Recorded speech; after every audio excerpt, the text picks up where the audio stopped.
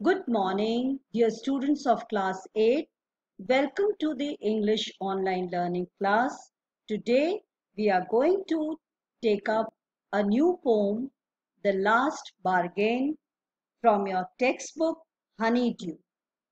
And this poem is by the famous poet of India, Rabindranath Tagore. Now, what is a bargain?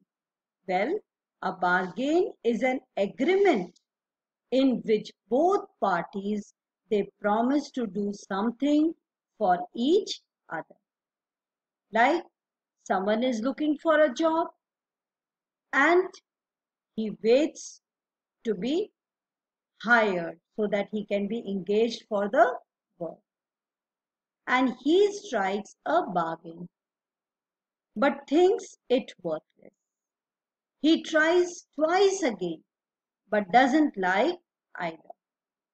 Finally, in the last bargain, when he is hired for nothing, whatever, he is happy as never before.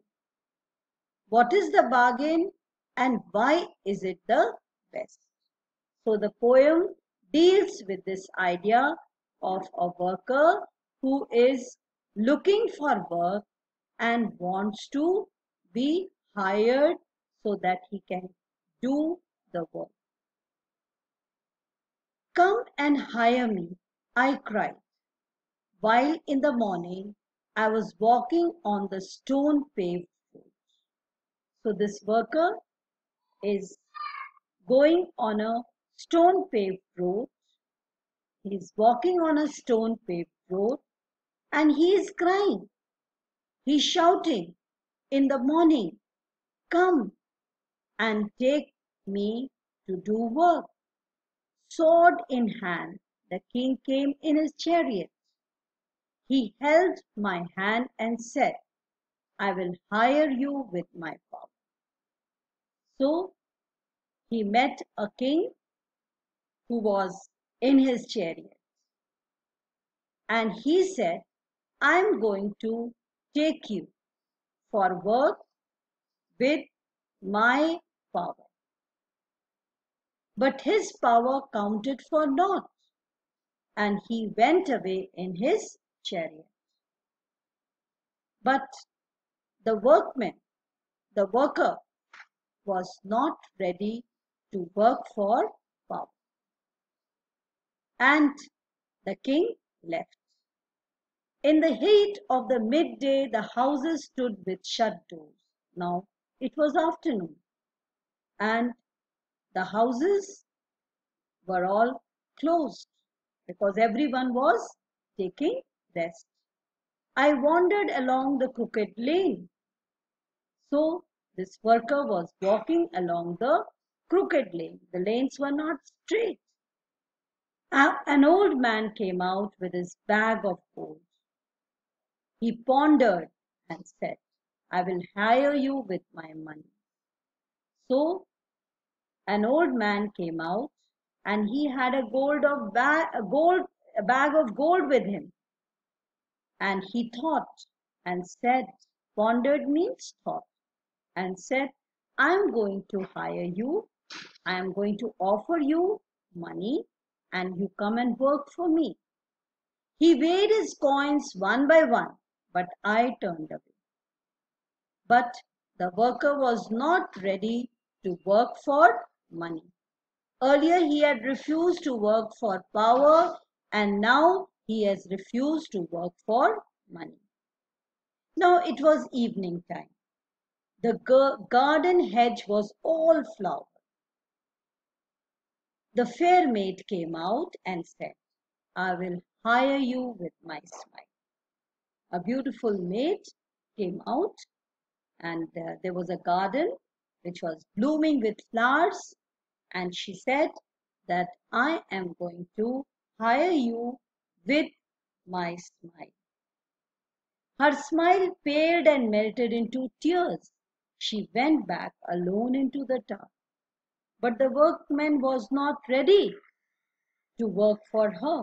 This bargain did not was not liked by the worker. And finally, her smile went away, paled, and she was in tears. And she left into the dark. Because the workman had previously refused the work to work for the king because he was hiring him for with his power. He refused to work for the old man because he was hiring him with money. And he refused to work for the maid because she was hiring him with her smile. The sun glistened on the sand. It was shining on the sand. And sea waves broke waywardly. The sea waves, they were touching the shore. A child sat playing with the shells. There was a small child who was playing with the seashells. He raised his head and seemed to know me and said, I will hire you with nothing. But this little child, with all innocence, said that I am going to hire you, but instead I will not be hiring you for anything, nothing. From henceforward, that bargain struck in child's play made me a free man. And the workmen liked this bargain because it was without a condition.